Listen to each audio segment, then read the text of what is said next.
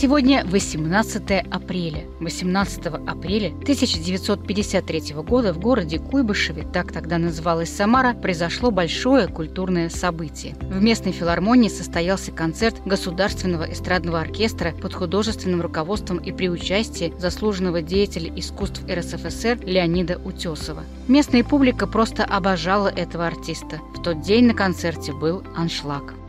18 апреля в России отмечается День воинской славы, День победы русских воинов князя Александра Невского над немецкими рыцарями на Чудском озере.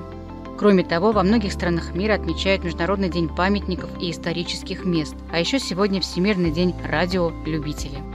В народном календаре сегодня Фидул ветреник. С этого времени на Руси, как правило, начинали дуть теплые ветры. Считалось, что вместе с ними прилетают сверчки и расселяются по огородам, а также появляются бабочки-крапивницы и божьи коровки. Земледельцы в этот день старались примечать, сколько снега осталось на дне оврага. Если величиной с корову, значит можно приниматься за пахоту. Этими другими интересными событиями и фактами вошел в историю 18-й день второго весеннего месяца. Прекрасном настроения вам и успехов во всех начинаниях.